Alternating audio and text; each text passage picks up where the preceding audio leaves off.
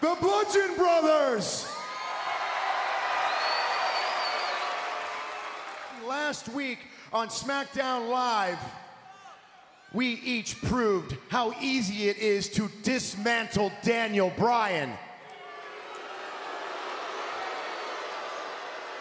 Now, my agenda was crystal clear, but the WWE Universe has been speculating why you two attacked Daniel, so, uh, why did you do it? Look, I get it. You're the strong, silent type. And I feel like I know the answer, but I feel like the audience needs a little clarification. Daniel Bryan makes a critical error by interrupting what should have been a celebratory moment between you two, the SmackDown Tag Team Champions. Such disrespect, and trust me, I know from experience, Daniel Bryan is a glory hound.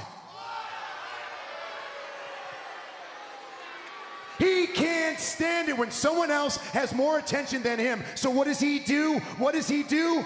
He tries to steal your thunder by doing his overused yes chants to the audience. Yes, yes, yes, yes. Right after you guys left, Daniel Bryan got up and he was 100%. And there I stole the spotlight by defeating him in the gauntlet match in mere seconds. Now, trust me, you two did a fantastic job, and if I can be so bold, it felt like you guys were auditioning to be a part of the new Miztourage.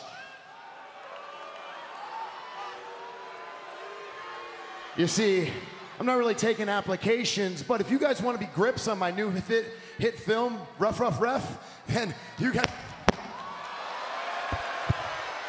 Miz, shut up. Bludgeons, last week you cost me an opportunity at the WWE Championship. I know that you guys are big, bad, and scary, but size isn't nearly as important as heart. And I am not afraid of the two of you, and I'm certainly not afraid of The Miz who's standing behind you. So I'm not out here asking you if you'll fight me. I'm asking which one of you is going to fight me first.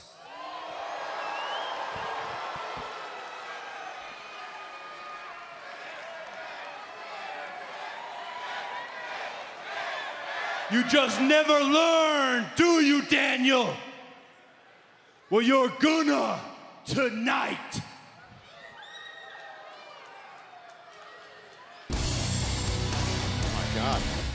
Uh, sounds to me like Harper is accepting a challenge.